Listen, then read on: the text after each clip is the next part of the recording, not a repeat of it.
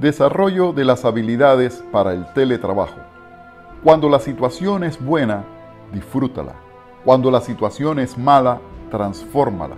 Cuando la situación no puede ser transformada, transfórmate.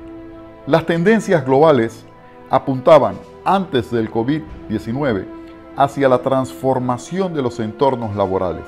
Una de las más visibles era el teletrabajo. Algunas de las razones eran la flexibilidad, accesibilidad y productividad.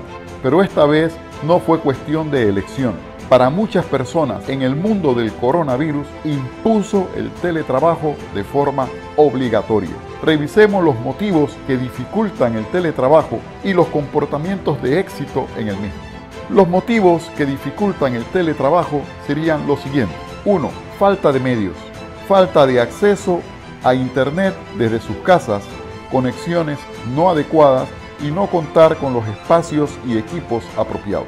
2. Falta de cultura de las empresas. Muchas organizaciones fomentan el presentismo y el control del horario de trabajo.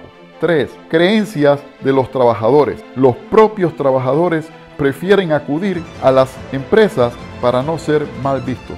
4. Legislaciones gubernamentales. En los países existen diferentes normativas con respecto al teletrabajo. Y 5.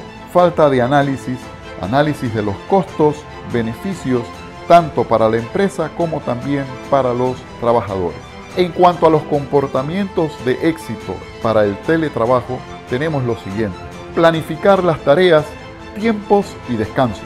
Definir objetivos y priorizar tareas, manteniendo una buena organización y establecer los descansos tácticos determinar los espacios de trabajo, establecer un lugar de trabajo y asegurar de contar con los medios y equipos necesarios, trabajar en los conocimientos y habilidades de las tecnologías de información y comunicación, dominar las herramientas digitales para comunicarse, organizarse, cooperar con otros y solucionar los problemas técnicos que puedan surgir, potenciar su responsabilidad, autonomía y automotivación. Trabajar por objetivos, tener claras sus funciones y resolver los problemas por sí mismo. Para finalizar con esta sesión, recuerda, reflexiona, aplica y comparte.